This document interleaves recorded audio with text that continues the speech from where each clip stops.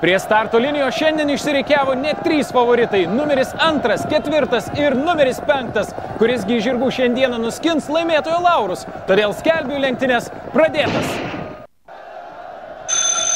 Sveiki visi, naujai prisijungę prie mūsų. Pažiūrėsim, kaip šiandien seksis jūsų žaidimas. Puikus startas.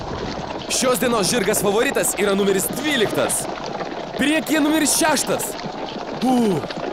Greta bėga numeris 7 ir 12. O, jūs tik tai pasižiūrėk. Aplenkęs visus dalyvius į pirmą vietą įsiveržė numeris 12. Nereali kova, nereali kova. Pusė trasos 500 metrų. Pirmasis bėga 12. Štai taip, štai taip, negaliu patikėti. Į priekį smarkiai įsiveržė numeris 7, aplenkęs numerius 12 ir 6. Šaunuoliai, pirmin. Numeris 6 lenkia numerį 12. 200 metrų iki finišo. Nepraleiskite progos, šiandien yra jūsų šansas statyti. 100 metrų iki finišo. Kuris iš dalyvių kirs pirmas finišo liniją? Ogi tai numeris 11. Taigi pirmą vietą laimi numeris 11, antra vieta atitenka numeris 7, trečią vietą laimi numeris 6.